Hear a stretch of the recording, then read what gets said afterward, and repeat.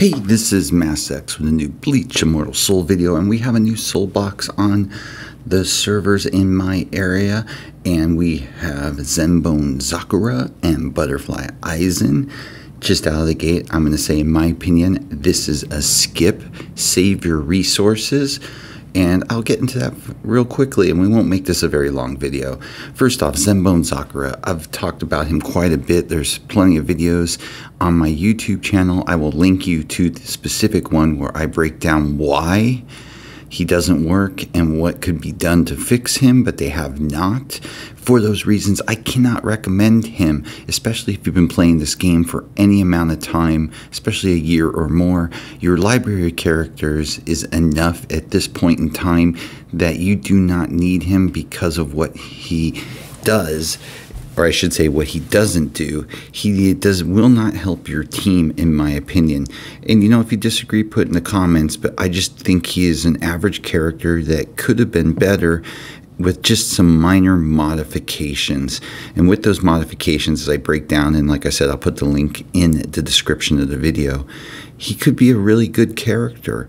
But we have so many really good characters at this point in time, given this game's um, depth of time being on the market, I don't see a reason to get him at this time.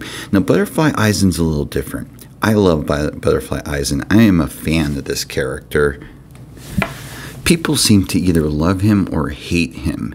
He's a build up character, okay? You can tank him on the front line if you want. You can put him on the back line. He slams that front low row. His skill set is exceptional, in my opinion. His passive at the beginning of battle, he gains two stacks of his butterfly wings, and he can get that up to four times and after he accumulates four stacks, he gains 60% increased block pierce chance.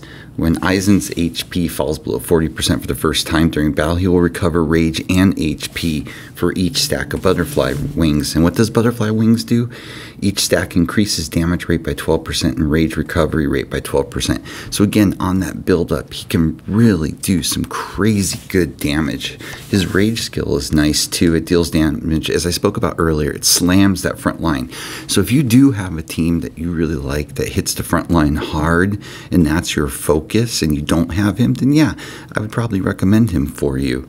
Um, he does additional damage equal to 25% of Aizen's attack multiplied by the number of stacks of butterfly wings. Again, everything works off that butterfly wings, and it works well. It, the character is, in my opinion, written and works as he states he will. He dispels all buffs from enemy targets after after his rage attack he gains another two stacks of butterfly wings. So you can see what's going on here. It just keeps rotating around. But again, is he necessary? No, he's necessary in no means possible to to anybody in this game that's been playing on that one to two year mark at this point in time. Now, again, if you use a team that you, if you like teams that slam that front line first and you don't have him, he's going to be a great fit for you. But if not, you know, we're at the time in this game where they're dropping characters where they're not necessarily better than what we have. And the characters that we have now, we have so many solid, well built characters out there, and some that are legacy characters, characters that have been around for a while that still do well, like White Ichigo, Yamamoto, if he's awakened, does well still. Um, Tosen, I mean, Unohana, and then you've got the mid range characters like your Shinjis. Um, as well as things that have come out over the last year and the season pass characters. There's so much to offer that you already have in your library that if you haven't touched, save your resources and go with those because there are some amazing characters right now that everybody has that probably aren't using and I'm guilty of it too.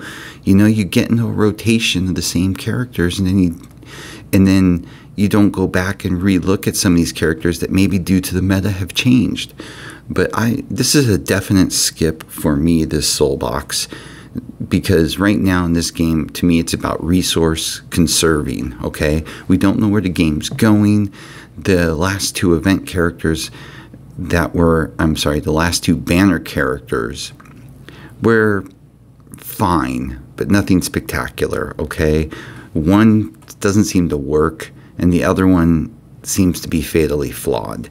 So, what do we do now? Well, we're in a game with no content. They haven't given us anything more, and we're kind of in limbo, so to speak. So, save your resources, build up your gold, build up your soul jades, and start focusing on characters that you never touched before. Save your pocketbook. If you're free to play, build those resources so if they actually do drop a really good character, you're ready to roll on it. And then you're in a much better position than you are currently. So, with that, please, as always, like and subscribe. It helps so much. Also, too, my server wide breakdown of the most popular characters will be dropping tomorrow. I finally finished it.